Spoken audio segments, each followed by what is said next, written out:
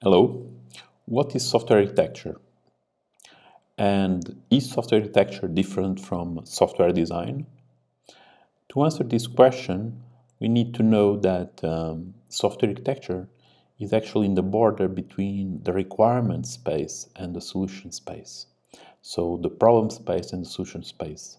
So when you do software requirements, software architecture, what you are doing is looking at the requirements of the system and designing the system or identifying what you need to design in the system such that the requirements are fulfilled. And the point is which requirements are going to be fulfilled. And usually what you address here is a set of non-functional requirements like performance, uh, security, usability. And you want, you want to decide how your system are going to provide this type of qualities. To do it, you need to do requirements engineering in terms of non-functional requirements. And you need to talk with the stakeholders of the system. So the stakeholders of the system are going to tell you what are the relevant non-functional requirements. And those relevant non-functional requirements actually can be in a contradiction, can basically define different things. So actually, you need to decide which ones are more relevant. For instance, if you decide for usability or um, security, usually if the system is available in a lot of uh, interfaces, in a lot of devices, probably it's easier to attack the system. So it's a trade-off. And the, the architecture contains the, the, that trade-off. So the question about what is the difference between software architecture and software design? The answer is software architecture is the design that deals with the requirements defined by the stakeholders. So it's the design that if you want to prove that the system satisfies the requirements defined by the most important stakeholders, then you should show them the software architecture design. Okay?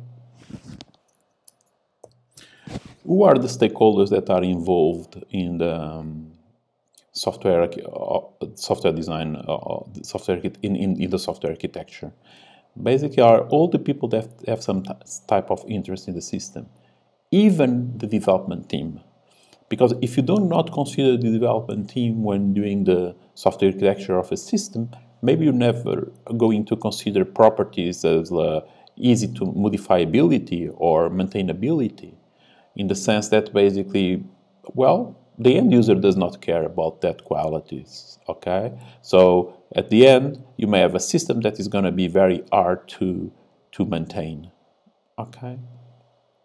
So we are going to consider, for instance, the end user, and the end user maybe is, real, is interested in the performance of the system.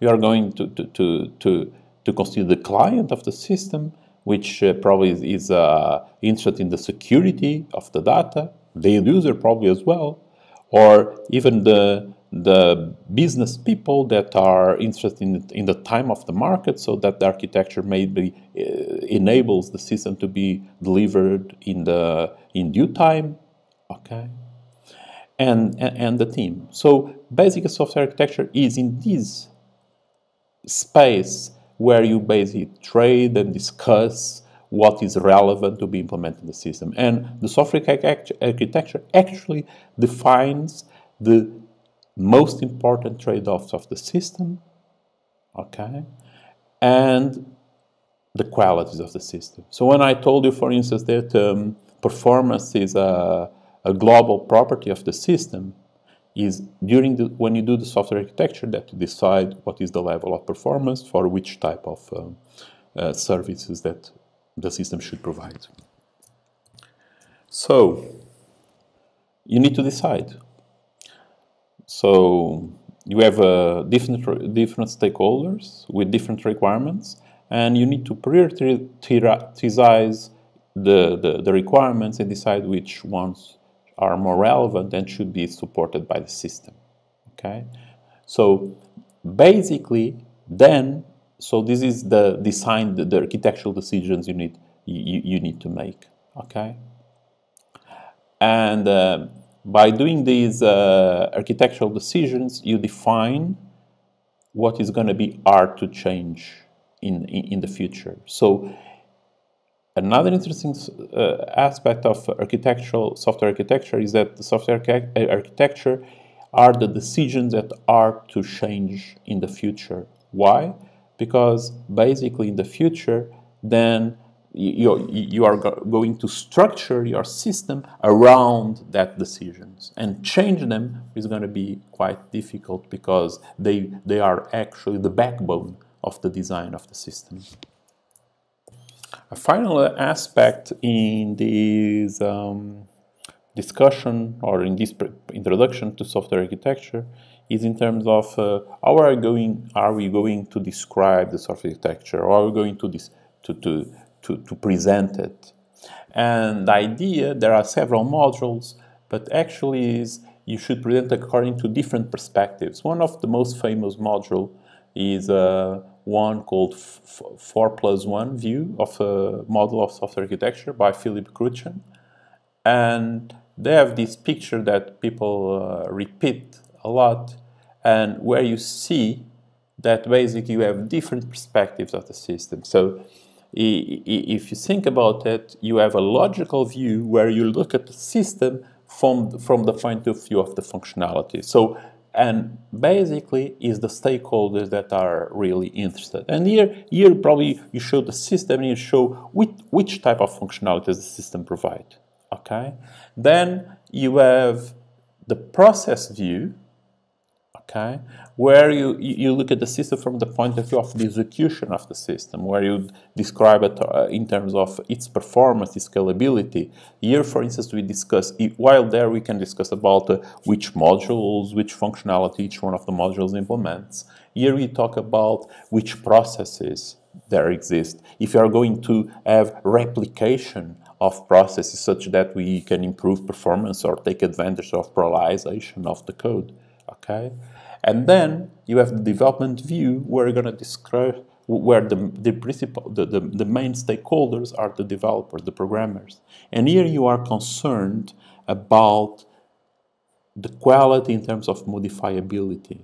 So we are concerned about uh, low coupling, high cohesion of the software.